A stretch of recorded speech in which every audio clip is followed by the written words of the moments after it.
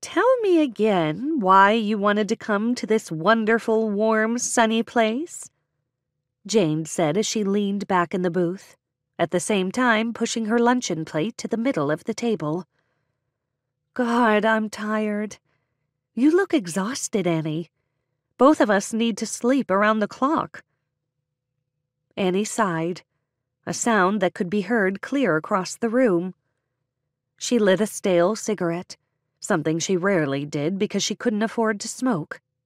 My parents used to bring Tom and me here every summer. I remember how happy I was when I got here. My steps were lighter, my face hurt from smiling so much.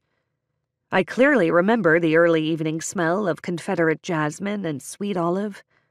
I swear, Jane the scent used to stop me dead in my tracks. My mother always said she wanted to bottle the smell, so she would have it nearby once we got back to Tennessee. They call this the Low Country, and I swear it has a way of creeping into your sleep until even your waking dreams are filled with its spirit and you find yourself in a longing state. I always said I was going to come here and live someday. Now, I'm here. I hope you're going to love it here as much as I do. I love it already. I don't think I've ever seen such a glorious array of flowers. What did you say that purple hanging stuff is? Wisteria. The big bushes are azaleas, and the flowering trees are dogwood. The sweet olive trees are the ones with the little yellow buds. That was a good lunch, Jane.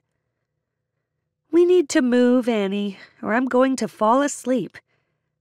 First, stop the bank so we can open an account. It's going to take at least five days for Elmo's check to clear. You're right. Thank God we have our apartment. I can't wait to see it. The landlady said she would have it all ready. All we have to do is put the sheets on the beds and buy some groceries. We have a roof over our heads for a month.